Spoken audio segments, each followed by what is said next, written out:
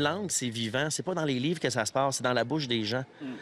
Donc, notre français qui vient de, de marin, qui vient d'ouvrier, qui vient de fermier, est devenu très imagé. C'est pas l'Académie française qui est arrivée ici là, en 1608, là, hein, puis euh, même après. Donc, moi, je suis très fier de cette langue-là, colorée, imagée. Je suis très riche de ça. Qu'est-ce que t'aimes du français? J'aime écrire en français. Je trouve ça joli, le français écrit. Puis j'aime euh, le français euh, québécois, en fait. Je, je l'aime pas particulièrement à un moment donné ou à un autre, mais j'aime parler québécois. C'est quoi parler québécois? Ben, parler québécois, c'est... euh, Oh. Pas évident comme question. Non, pas évident, pas évident, mais en même temps, tu t'en rends tellement compte quand tu parles à un Français que tu parles québécois. En fait, c'est un peu intangible, mais il y a comme une, une, euh, un côté amical à la langue. Ton mot préféré? Essence.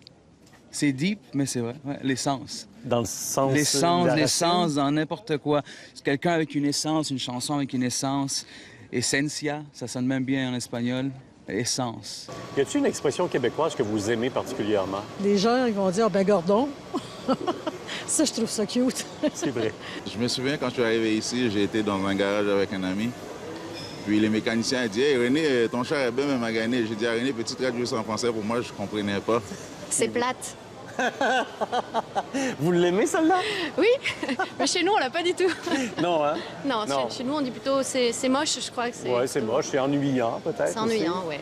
Si je vous donne l'expression, l'autre jour, j'ai pogné un flat avec mon char, puis le tailleur, il est resté jamais dans le rim. Bon. Ben, OK, il y a une expression que moi, j'emploie pas du tout, mais quand j'entends des gens la- le dire, je- euh, dire cette expression-là, ça me fait beaucoup rigoler, avoir le trou de cul en dessous du bras. Tu sais, je me vois juste comme un trou de pète en dessous d'un bras. je trouve ça juste très drôle. Qu'est-ce que ça veut dire, d'après Ben, toi? Mais moi, je pense que ça veut dire que ça va pas bien.